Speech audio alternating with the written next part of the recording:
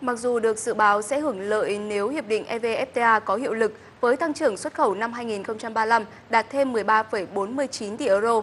Tuy vậy, hai ngành dệt may và da giày khó có thể được hưởng lợi ngay bởi những quy định về quy tắc xuất xứ và quy mô còn nhỏ lẻ.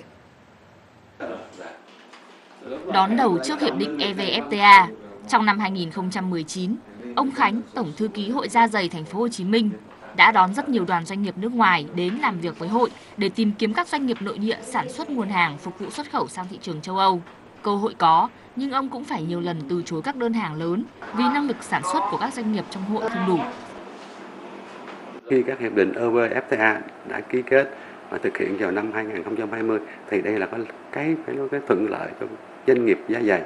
Thực tế là rất là thuận lợi nhưng mà xét kỹ lại cũng không được bao nhiêu hết. Mà thách thức thì rất lớn.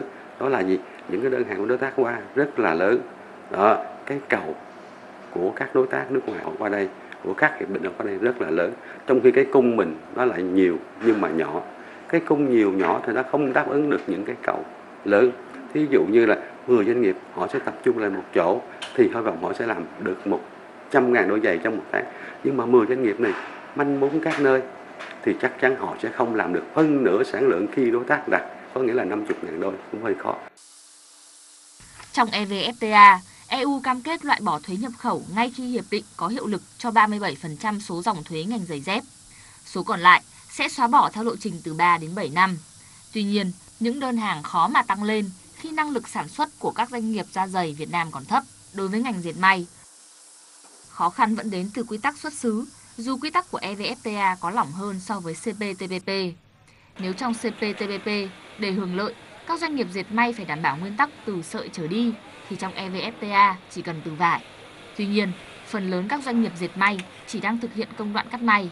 Chỉ số ít đơn vị như doanh nghiệp này sản xuất được vải và sợi. Bên cạnh đó, nguyên liệu vải mà doanh nghiệp dệt may nhập khẩu đa phần có xuất xứ từ Trung Quốc, Đài Loan, những nước chưa có hiệp định FTA với EU. Thì tổng công ty 28 thì đầu tư thì khép kín tương đối đồng bộ. Nhưng mà cái cái năng lực nó cũng đều. Ví dụ như là à, cái lực lượng may của mình là 20 triệu sản phẩm một năm. Nhưng mà cái vải chất lượng cao để trong đó 80% là xuất khẩu.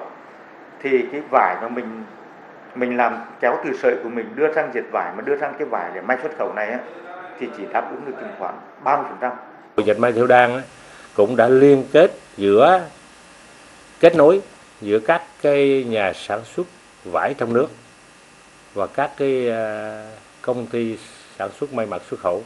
Tuy nhiên là do cái năng lực à, sản xuất nguyên phụ liệu của của các nhà sản xuất Việt Nam á, còn thấp quá.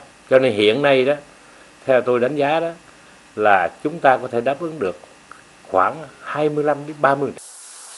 Khi ngành da giày còn sản xuất nhỏ lẻ, manh mún, ngành dệt may vẫn còn bị phụ thuộc nguồn nguyên phụ liệu từ Trung Quốc, thì doanh nghiệp vẫn khó đi nhanh trên tuyến đường cao tốc EVFTA để đưa hàng hóa đến với thị trường châu Âu.